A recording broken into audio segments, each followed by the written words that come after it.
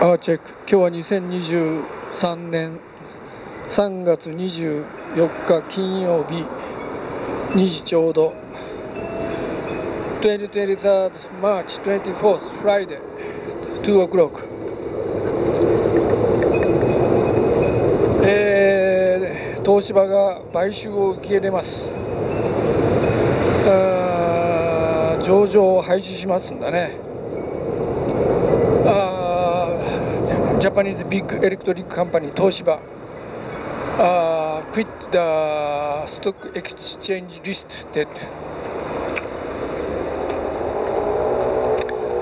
なんかこれあんまり名誉な話じゃないんじゃね It's not a for a story. えーどんどん会社の調子が悪くなって上場廃止中ともうもう没落だよな The quit the、uh, stock exchange listed is a, a kind of collapse でもね東芝といってればもう日本ので大企業の中の大企業トップ企業ですよだったですよね東芝 is a top big companies big com the big company of the big company in Japan ねいろんなものを作りましたよね電気釜とかね昔からね uh, a lot of things made スチームクッカーしかしねこの企業でやっぱり有名なのは差別やいじめがあったという話ですよ The famous story of this company is、uh, there is a discrimination and harassment in the workplace えー私があ沖電機を解雇されたのが1981年ですけどその3年後でしたかね東芝府知の上野さんという人が職場の中で、えーいじめを受けたということで裁判を起こしましてね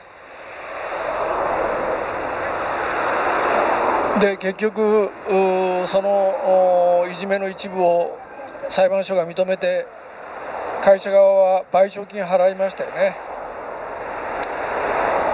Uh, I was fired in 1981 and uh, Mr. Ueno, he was work at the Toshiba Fuchu factory and he get the discrimination and harassment in the workplace and he bring the case to the court and the court admit the fact of that uh, discrimination and harassment and uh, the company Toshiba paid uh, Mr. Ueno to the compensation だからもう本当、押しも押されない、し,しない巨大な企業がですよ、結局、一部上場廃止にまで落ちぶれました。って話ですさね、あ such a big company、terribly big company、is collapse、bankrupt、almost bankrupt。Which has the discrimination and harassment in the workplace. 非常に沖電機と似てますね。It's very look like 沖電機。沖電機も私が解雇されてからもう42年になろうとしてますけどね、その頃の会社の規模も株の値段も10分の1ですよ。the Okidenki also. The 42 years ago, when I was fired, the scale of the company became one of ten. The price of the stock also one of ten. それぞれ10分の1ですよ。情けない話ですよね。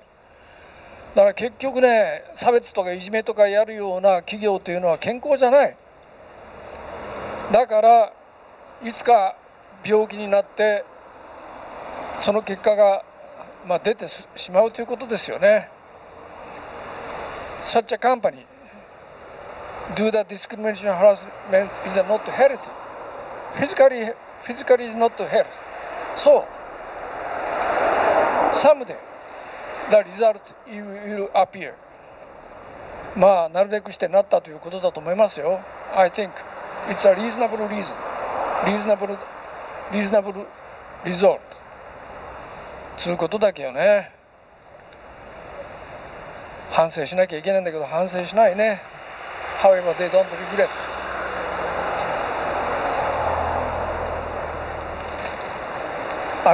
ね。ロンレーニングスタート。